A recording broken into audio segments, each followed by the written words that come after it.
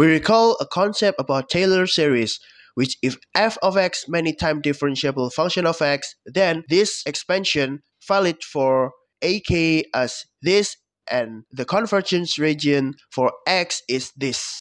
Many time differentiable, it means that it has first derivative, second derivative, and so on. So we can define ak here, and the convergence here lead you to know that x here is around x0, and I can have equality here if there is any conditional convergence.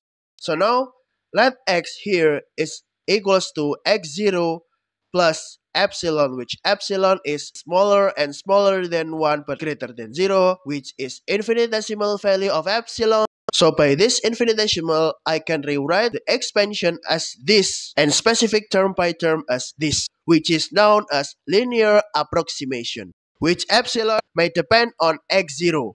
This expansion generally to the first derivative and so on for higher order derivative. So for example, I have previous differential equation by those two initial condition.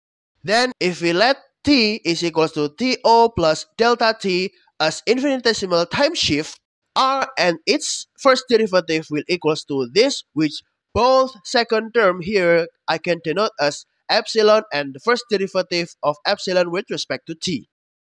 Here, t0 is about initial time, so I choose this is equals to 0, and then this is r0, and so on, for this is about v0.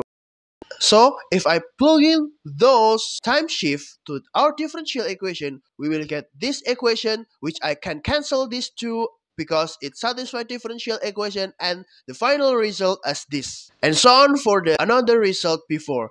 And these two equations let us know that epsilon may be sine or cosine here, and epsilon may be a power minus t here.